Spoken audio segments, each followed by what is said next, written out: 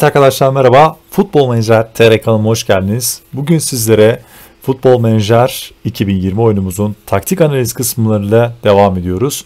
Bugünkü videomuzda sizlere Valencia takımına, Valencia takımı ile ilgili yine e, yeni bir hazır taktikle ilgili burada öncelikle analizini yapacağız. Bu seferki kullanacağımız taktiğin ismi yine FM Scout sitesinden indirmiş olduğum 4-2-3-1 bir tiki takanın özelleştirilmiş hali. Hatta Gaul Undefeated diye geçiyor. Bunlarla ilgili de alta videonun linkini koyacağım. Yani taktik videosunun linkini koyacağım arkadaşlar. Bu link üzerinden de bu taktiğe ulaşabileceksiniz. Biz burada ne yaptık? Öncelikle ben 24 Haziran tarihindeyim. Birkaç gün geçtim. Bu gün içerisinde neler yaptım arkadaşlar? Hemen zaten mevcut durumdaki işte transfer dışında hiç transfer yapmıyoruz biliyorsunuz bu taktikte transfer yok. Biz hemen başlangıç şeylerini bitirdik. İşte basın toplantısı falan bunları ben geçtim ve sonrasında tek bir şey yaptım arkadaşlar. Bu taktik analizlerde artık ben asistan menajeri kendim seçiyorum. Sonrasında yine ne yapıyoruz? Sezonun taktiğini ayarlıyoruz. Taktik hazır taktiğimizde analizini yapıp oyuncularımızı yerleştiriyoruz. Bu oyuncularla oynayacaksın diyoruz ve yıl sonuna gidiyoruz. Bakalım neler olacak. Burada ben asistan menajer arkadaşlar değiştirmeyi tavsiye ediyorum. Çünkü asistan menajeriniz aslında kulübünüzde sizin ikinci sağ kolunuz. Ben bu asistan menajer kısmında da oyunun belki de en beğendiğim asistan menajerini transfer ettim. Rui Faria arkadaşlar. Normalde asistan menajerlerle ilgili ben çekmiş olduğum video da var. Burada asistan menajerin aslında sadece adam yönetimi, potansiyel ve yetenek değerlendirmeden bir has bir durum olmadığını anlattım. Hatta yanlış olduğunu gösterdim. Çünkü bu futbol direktörüne daha çok benziyor. Asistan menajerin aslında temel görevleri adam yönetimi okey. Disiplinli, kararlı ve motivasyonu kuvvetli biri olması lazım. Yani uyumlu da aynı zamanda. Potansiyel ve yetenek değerlendirmede ise oyuncunun tamam potansiyelini değil de yeteneğini değerlendirmesi daha uygun. Benim gözümde. Yani burada da Rui Faria'nın aslında ben şu ölçülerine bakıyorum benim için Rui Faria gerçekten top class bir asistan menajer. Yani oyunun içerisinde bence asistan menajerin seçiminde bir sıkıntı var. Bununla ilgili de bir video çekmiştim arkadaşlar. Oradan da izleyebilirsiniz. Alta linkini de koyacağım. Zaten Rui Faria'nın geçmişine bakarsanız Manchester United gibi bir takımda 2 yıl asistan menajerlik yapmış.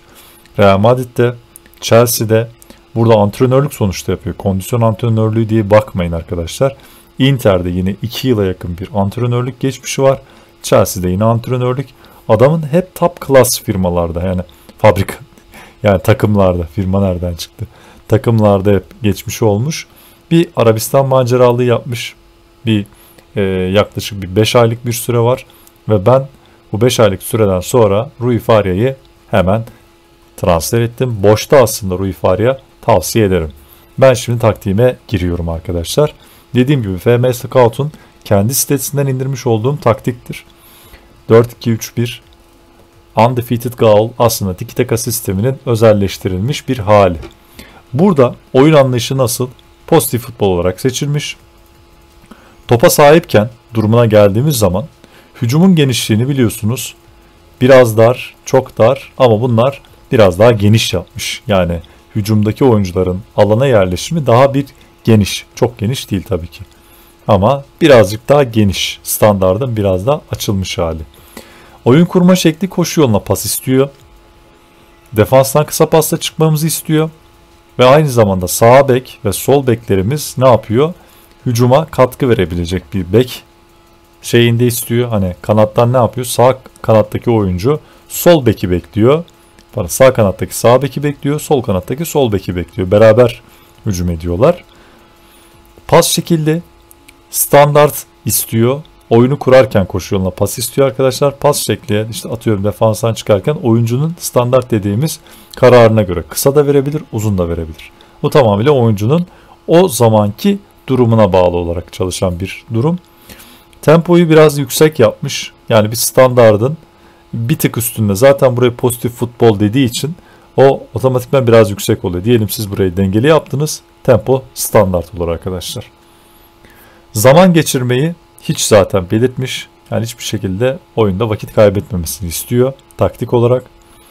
Üçüncü bölgeye geldiğimiz zaman ise rakip cihaz sahasına paslaşarak girilmesi istenmiş. Yani çizgiye inmeden bir orta, kaleyi gördüğünde vur gibi seçenekler devre dışı bırakılıp rakip cihaz sahası alanına paslaşarak girilmesini istemiş. Bu da muhtemelen ki e, kanattan girebilecek hatlarda hücumcularınız burada bir pas trafiği yapılması isteniyor.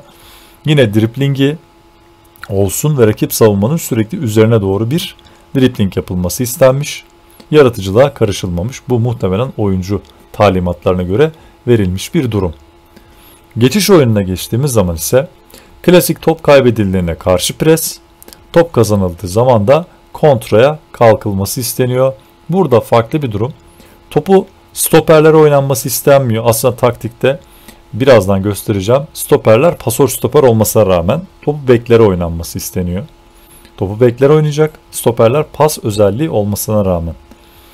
Oyuna uzun sokuş şekli ise kalecinin özellikle elle uzun olmasını istiyorlar. Yani elle sok diyor. Ne, yani genelde ayakla kısa oyna, ayakla elle kısa oyna gibi seçenekler olur. Burada elle uzun oyna. Bu yüzden de kalecilerin hani böyle e, elin mesafesi yani burada degaja bakılmıyor mesela. Normalde her zaman ayakla kısa, ayakla uzun oyna gibi seçenekler seçildiği zaman kalecinin ayak kabiliyetinin iyi olması gerekir deriz ama burada elle uzun oynadığı zaman el kabiliyetleri burada devreye giriyor. Top rakipteyken peki nasıl bir savunma bütünlüğümüz var? Öncelikle çok önde bir rakibi pres hattı var. Buradaki hücum oyuncuları muhtemelen çok fazla rakibi pres yapmak istiyor. Keza aynı şekilde rakip kalecinin top çıkartırken buradaki defans oyuncularına sürekli bir pres, sürekli bir defansa baskı istenmiş. Top kapma, topa dal diye seçeneği işaretlediğiniz anda arkadaşlar çok fazla faul yapacağı anlamına geliyor bu. Bu da sizin muhtemeldir ki sarı kart ve kırmızı kart yüzdenizde artacak. Çünkü ayakta savun daha böyle naif yani rakibe kaymadan ee, pres yaparsınız, defans yaparsınız. Burada tamamıyla topa dal diye seçenek yapılmış. Muhtemelen agresif oyuncularınız varsa problem yaşayabilirsiniz. Savunma hattını önde, çok önde değil tabii ki. Yani şöyle değil. Önde yapılmış. Savunma hattındaki durumda ise bir offside taktiği uygulaması yapılmış ki bu tecrübeli olan bir oyuncularınız yani defans oyuncusunun offside taktiğini uygulayabilecek düzeyde olması lazım. Savunma genişliği birbirine dar yani merkezde toplanması isteniyor. Geniş olsa daha çok kanatlara doğru yayılması isteniyor ama burada savunma belli noktalarda merkezde kalsın. Rakip oyunculara da hiçbir şekilde alan bırakmasın diye kararlaştırılmış. Diğer şimdi oyunculara geldiğimiz zaman ise bizim kalede öncelikle ben şöyle söyleyeyim. Ben taktiğe uygun olarak oyuncuları yerleştirdim. Bunu söyleyeyim. Ama tabii ki burada ne yapacağız? Önce bir oyuncu talimatlarına bakacağız arkadaşlar. Bir libero kaleci destek. Libero kaleci de tabii ki burada fazla risk alan bir kaleci olur. Yani zaman zaman e, kritik paslar atabilir. Yani talimatlarda böyle gözüküyor. Tabii ki kaleci burada kritik paslarda elle uzun oynayıp nasıl bir şey yapabilir onu bilemiyorum. Biraz mantıksızlık bir durum var burada. Çünkü oyunun bence burada kalecinin daha fazla risk al dediğim zaman bu adam elle uzun oynarken nasıl bir risk alabilir? Yani bir de kanat beklerine vermesi isteniyor. Yani bekin gelmesini bekleyecek. Anlatabildim mi? Müdahalelerde sert ol. Yani burada oyuncular top kapmaya çalışırken daha sert ve mücadeleci olmaları yönünde halimat verir. Bu adam zaten kalesini koruyor. Bu da bence çok fazla böyle bir mantıklı bir durum değil. Ben şimdi geldiğim zaman defans hattına geliyorum. Daniel Vaz. Daniel Vaz bizim oynayan mevkideki oyuncumuz Daniel Vaz. Kanat bek, destek ve kanat bek destek. Her ikisini de sağ bek ve sol bek için destek kanat bek seçmiş. Peki özellik olarak neler istemiş? Ona bir bakalım şimdi. Ben de bu arada şöyle göstereyim sizlere. Şimdi normalde kanat beklerde topla geniş alanda oynayan yani rakibin düzenini bozmayı hedefler ve fazla hücuma çıkan, katkı veren. Yani burada ne yapıyor? Sürekli ileriye doğru bir hat oluşturuyor. Zaten bizim topa sahipken yaptığımız durumdaki gibi. Okey. Peki daha fazla ne isteniyor? Kısa pasla oyna diyor. Mesela normalde bizim oyunumuz ne? Pas standardı standart olarak belirtilmiş pas. Burada sağ beke ve sol beke ikisine de kısa pasla oyna demiş arkadaşlar. Daha az şut çek. Evet daha az şut çekte de ileriye doğru gidiyorsun ama mümkün olduğunca pozisyonu bulmadığın sürece, iyi bir pozisyon yakalamadığın sürece şut çekme. İyi bir pozisyon yakalarsan zaman zaman şut çek. Daha fazla pres dediğimiz zaman da ise yine topu kaptırması yani topu kaptırması için yani rakip oyunculara şu bölgede diyelim savunma yapacağı zaman sürekli bir pres yapması isteniyor. Şimdi biz zaten burada dar pozisyonda oynuyoruz. Savunma hattına geldiği anda sürekli bir pres yap. Daha sıkı markaj yap derken yine rakip oyuncuya sürekli bir markaj. Yani karşısında bir savunma bloğunda buradan bir kanat oyuncusu geldiği zaman sürekli bir markaj yap diyor. Müdahalelerde sert ol diyor. Zaten biliyorsunuz bizim şey kısmımızda topa dal seçeneği vardı. Yine sertlik olacak. Ekstradan bir daha müdahalelerde sert ol denmiş. Fazla preslenmiş. Şutlarda daha, daha şut çekilmiş. Burada kısa pasla oynaması bizim için burada bir artı bir durum. Yani adam uzun pasla oynamayacak demektir burada. Sol beke geldiğim zaman sol bekte de yine aynı durumlar söz konusu. Her ikisinde de benzer talimatları yapmış. Talimatlar kısmına arkadaşlar buradan giriyorsunuz. Burada mesela müdahalelerde sert ol dediğiniz zaman ya da müdahalelerde sertliği azalt dediğiniz zaman bu oyuncu ona göre daha farklı davranır. Tabii ki burada oyuncunun mesela topla geniş alan topla içeri kat et bunları dememiş. Bunları seçmemişler. Zaten bunların ikisi seçili. Bu mevcut taktikte daha fazla hücuma çıkan topla geniş alanda oynayan bir oyuncudur bu. Yani topla içeri kat et seçmesi zaten mantıklı bir durum değil.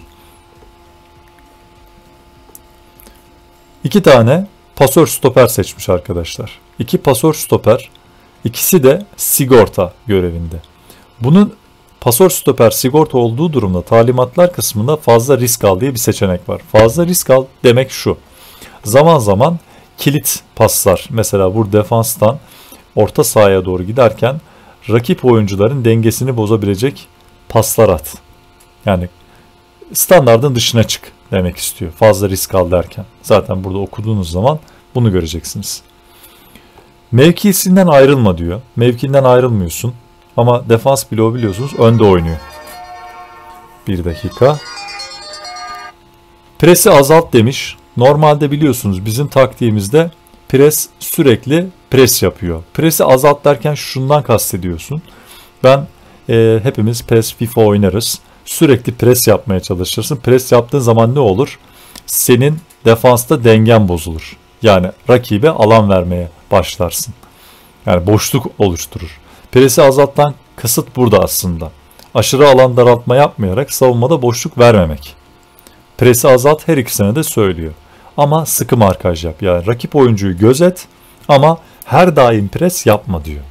Çok mantıklı. Biz de PES'te mesela genelde öyle oynamıyor muyuz? Markajı yaparız ama sürekli pres hatta iki kişi oynadığın zaman multide dersin ki ya abi sürekli pres yapma. Açık veriyoruz. Bunu söylersin. Orta sahaya geliyorum. Orta saha bloğunda iki yönlü orta saha ve defansif oyun kurucu. İkisinde de. ikisi de destek.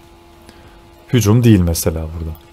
İki yönlü orta sahada arkadaşlar birine daha fazla hücuma çık deniyor. Ve mevkiinden bağımsız oynuyor. İki yönlü orta sahada arkadaşlar mevkiden bağımsız ileri ve geri yönlü. Biraz daha serbestlik tanınır. Burada daha fazla hücuma çık hücuma daha fazla katkı ver. Aslında destek oyna ama hücuma zaman zaman çıkışlar yap, ileri koşular yap demek istiyor. Aslında bir nevi opsiyon olarak işte %60 ofansif, %40 defansif rolde gel demek istiyor. Defansif oyuncu, oyun kurucu dediğimiz Parejo ise biz mesela Parejo'yu seçtik. Siz başka oyuncuyu seçebilirsiniz. Burada talimatlarda oynanmamış. Ne diyor defansif oyun kurucu? Burada mevkinden ayrılma, fazla risk al, yine kilit paslar at ileriye doğru gidip yani ileride rakibin dengesini bozabilecek paslar at, az şut çek, mümkün olduğunca şuttan kaçın ve anı bulursan, doğru zamanı bulursan şutlarla gol imkanı yarat. Şimdi ikisine de ters ayak kanatlı oyuncu. Şimdi biz 3. bölgeye geldik. Forvet hattındayız şu an. Forvet hattına ben baktığım zaman bu taktikte 4 hücumcumuz da hepsi hücum rolünde. Yani destek rolünde değil. Ve kanatlardaki oyuncular ters ayaklı kanat oyuncusu seçilmiş. Peki bakalım buradan başlayalım. Sağdan başlıyoruz. Bayağı bir talimat verilmiş. Ters ayaklı kanat oyuncumuza. Şimdi ben baktığım zaman ters ayaklı kanat oyuncusundan ne bekleniyor? Topla içeriye kat et, top sür. Yani pasla içeriye kat etmek yerine bireysel yeteneklerinle ileriye doğru adım at. Fazla hücum açık zaten beklenen bir durum. Peki talimatlar kısmında ekstradan neler yapılmış? Daha sık orta yap diyor mesela. Normalde bakın burada bir farklılık var. Normalde bizim taktiğimizde rakip ceza sahasına paslaşarak gir seçeneği var. Bu kapalı. Ama bu oyuncuya diyor ki çizgiye yani daha sık orta yap. Ceza sahasına Kevin Gamero'yu ya da buradan içeriye gelecek Rodrigo'ya orta yaparak gol imkanı yarat. Daha şut çek diyor. Yine burada Pareo'da olduğu gibi mümkün olduğunca şuttan çekil ama anı bulduğun zaman doğru anda kaleye şut vur. Mevkinden bağımsız oyna diyor. Yani serbestlik tanımış Guedes'e. Daha dar alanda oyna yani merkeze daha yakın bölgede dur. Müdahalelerde sert ol derken arkadaşlar burada oyuncular top kapmaya çalışırken daha agresif. Burada mesela sürekli ne yapıyoruz top rakipteyken kaleciye markaj, önde baskı. Burada ne, ne yapmak istiyorsunuz? Siz daha dar alanda rakibi daha iyi e, çoğalmasını, paslaşmasını engelliyorsunuz aslında. Müdahalelerde sert ol dedik. Daha sıkı markaj yap. Yine bu bölgede savunma yaparken markaj yapacağın oyuncuya daha sıkı bir şekilde tut.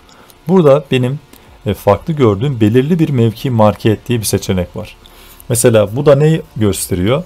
Şu bölgede geldiği zaman orta sahaya buradaki orta saha hattındaki oyunculardan bir kısmını marke etme seçeneği açık. Ters ayaklı kanat oyuncusuna geldiğim zaman diğer sol tarafta aslında benzer nitelikler varken burada tek ekstradan bir özellik var. O da daha fazla pres özelliği kullanılmış. Daha fazla preste de rakip oyunculara mesela dedim ya burada dar alanda oynuyorsun. Daha fazla pres yapıyorsun. Mesela bu oyuncularda ben gördüğüm ikisinde de yine sarı kart agresif oyuncuysa eğer daha fazla sarı kart ve kırmızı kart görme olasılığı fazla. Bunu söyleyebilirim. Ama orta yapma becerisi, işte içeriye kat edecek dribbling mevkisi falan bunların hepsi iyi olması lazım. Ee, ama tabii ki burada yine şey bekliyorlar. Daha sıkı bir markaj yapacak, sert olabilecek, pres özelliği fazla olabilecek. Hani Fenerbahçe'den örnek verirsek Dirk Kuyt gibi. E, Kuyt gibi burada sürekli içeride merkeze daha yakın ama aynı zamanda pres ya da e, Galatasaray'da Elmander vardı bilirsiniz burada. Gizli forvet dediğimiz kısımda arkadaşlar gizli forvetle ilgili belirli bir talimat verilmemiş arkadaşlar. Gizli forvetin buradaki durumu şu. Gizli forvette biliyorsunuz fazla top sür derken yine rakibi eksiltebilecek teknik kabiliyete uygun oyuncu olması lazım. Fazla risk al dediğimiz seçenekte ise yine düşük paslar yerine kritik ileri yönlü paslar yapabilecek, işte Gamero'yu pozisyonla buluşturabilecek, gol fırsatı yaratabilecek paslar.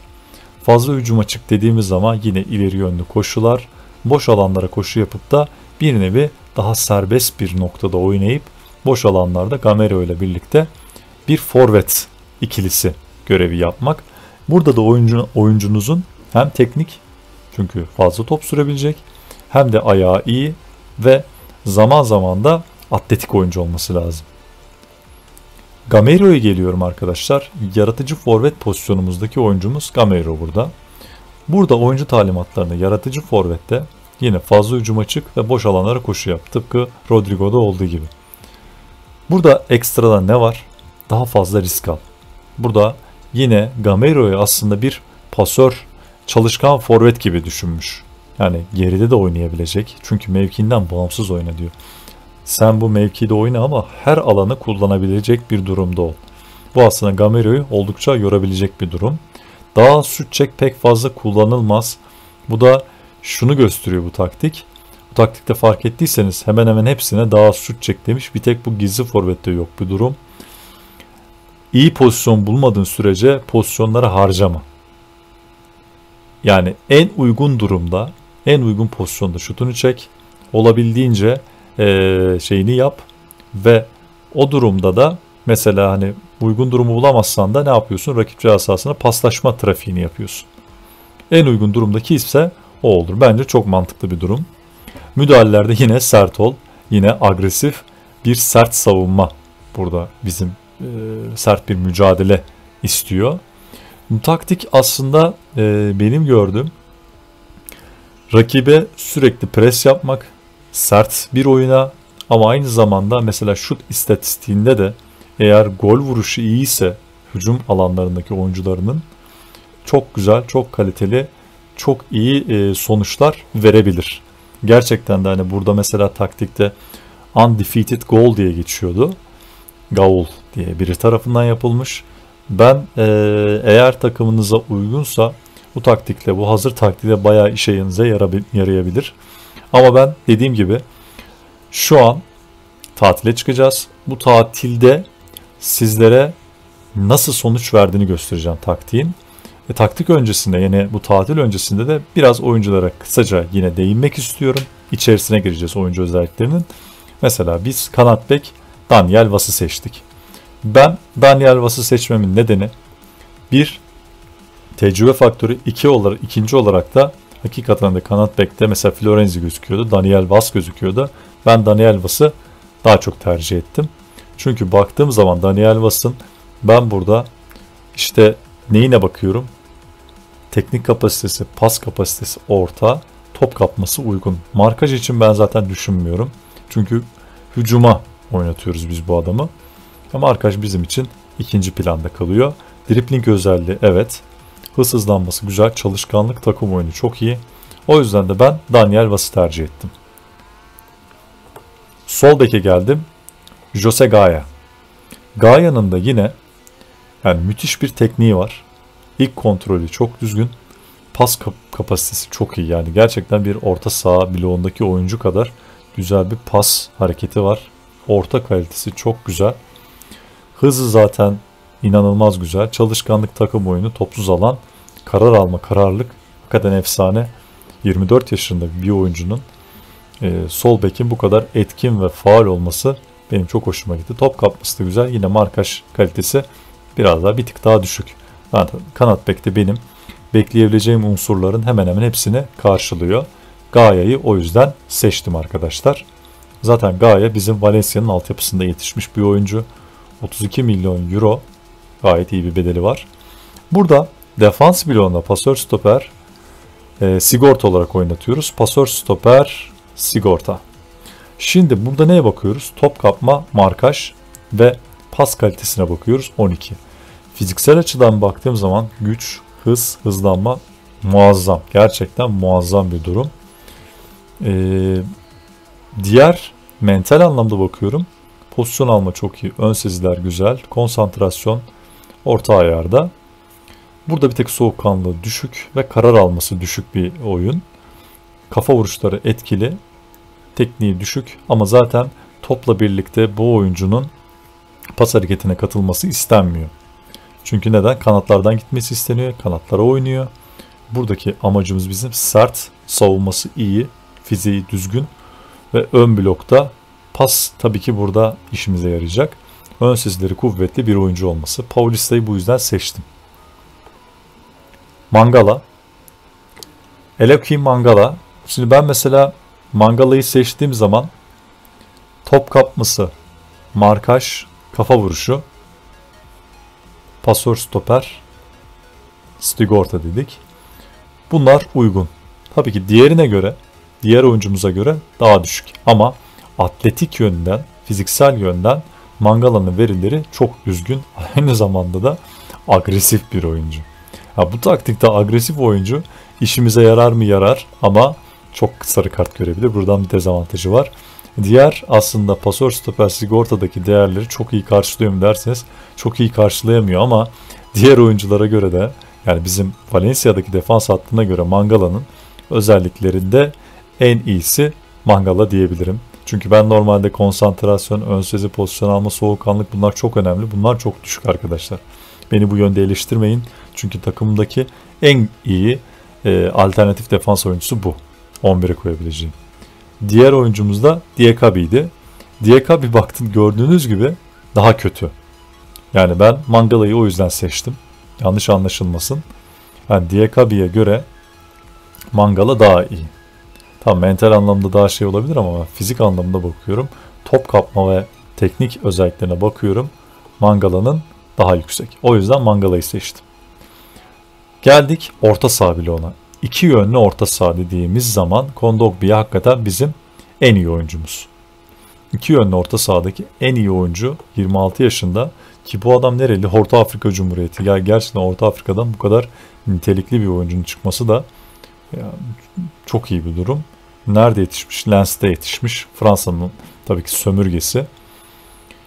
Burada baktığımız zaman arkadaşlar iki yönlü orta sahada bizim için önemli kriterlerden biri bu adam top kapması. Evet.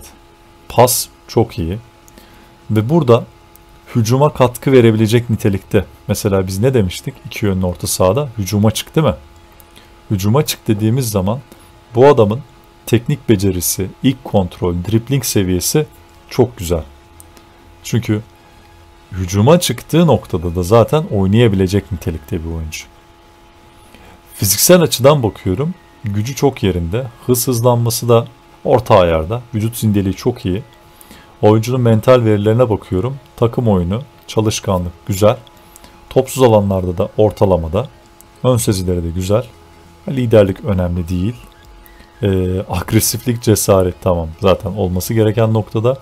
Bizim istediğimiz nitelikte bir oyuncu. Yani ne diyorduk iki yönlü orta sahada? Hem ileri hem geri. Aynı zamanda bu adam hücuma daha fazla çıkacak. O yüzden de ne diyor burada? Maç temposuna yön verir, bireysel yeteneğini kullanır. Bizim Kondoglia burada orta sahadaki en güzel, en iyi oyuncu. Dani Pareo. Pareo'yu biz defansif oyun kurucu. İşte bu mevkide de Pareo yine ışık veren bir oyuncu. Orta saha bloğunu ben çok beğendim. Gerçekten. E, Pareo'nun da bu mevkiye bakın pas niteliği çok güzel. Yani defansif oyun kurucu için bizim verdiğimiz talimatlara gerçekten uyuyor. Fazla risk alır yani pas kalitesiyle oyuncu geçebilir. Mükemmel. Teknik kapasitesi yine mükemmel. Uzaktan şutları ne diyoruz? Daha az şut ve doğru anda kaleye golü at. Bu adam doğru anda uzaktan şutlarla kaleyi bombalar. Müthiş.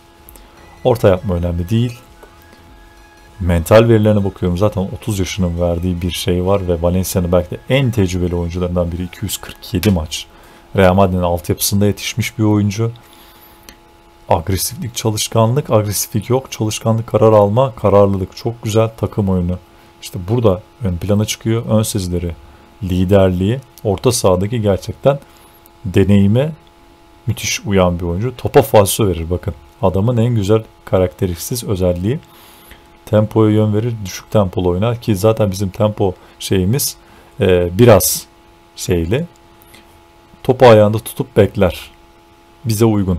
Sadece fiziksel yönden oyuncu düşük. Ama bizim zaten kendisi mevkisini koruyacağı için fazla yorulmayacak. Bizim takıma da bu defansif oyun kurucu pozisyonuna da uygun. Onu diyebilirim arkadaşlar. Bir dakika.